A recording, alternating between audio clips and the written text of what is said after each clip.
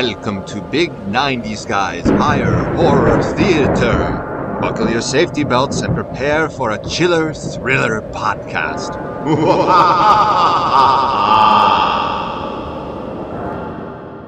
hey, welcome all you vampires to the Big 90s Guy Halloween podcast. you know, today we're going to do interview with a vampire, and we've got a vampire with us today. His his name is uh, Fernando, and uh, Fernando's been a vampire for uh, how long? You been a vampire for, anyways, Fernando? Oh well, since uh, 1752.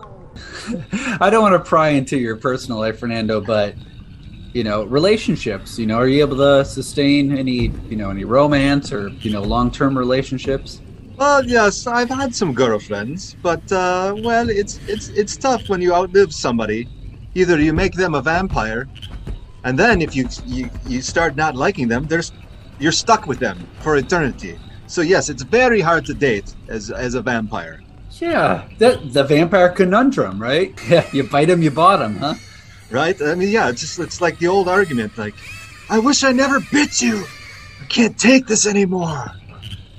This is a big mistake through my heart. Oh, Big 90s Guys podcast. Shout if you'd like. You're miles from where anyone can hear you.